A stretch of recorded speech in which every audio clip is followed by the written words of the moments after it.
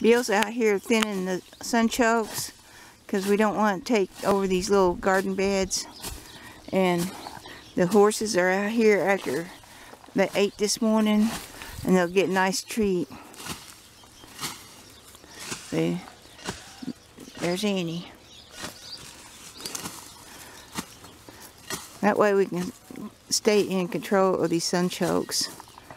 If I had more space, I just would grow them like crazy, but don't. This is probably enough for them for one day. Yeah, wheelbarrow load. So, that's what I like about the food forest. We can feed them all through the summer on sunchokes and cane. they just got through eating hay for the morning. Their morning feeding. They've got a full stomach.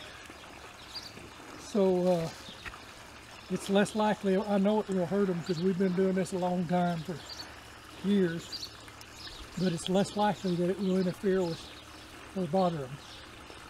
Uh, if they're not used to this, is something that they haven't been eating yet this year.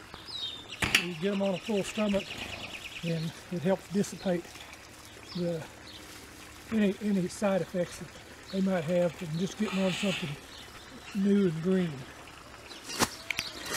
Oh boy, the donkeys can't wait. They love sunchokes. What? Annie? It's it's mostly the donkeys that go after it. Really, horses will eat it a little bit, but the donkeys. Uh, we've had them out on trails packing, and they just pick at everything. They, they, uh, we've turned them loose, even with their packs on, and let them follow us when we're away from anybody and anything. No cows out there uh, they'll just browse along the trail and pick pick different things out of the trail. Uh, I don't think they'll eat loco weed. We've never had any trouble with that. But, uh, they like it, and it's it's got a lot of nutrition. There's several things out here that look like weeds. Uh, that uh, it's got a lot of protein to it actually. Uh, just experience. Oh, and, he says, hurry up. Okay, I'm coming.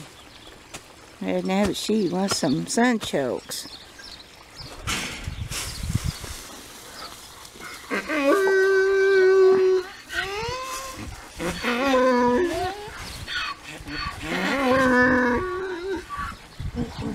And they're hungry jacks this morning.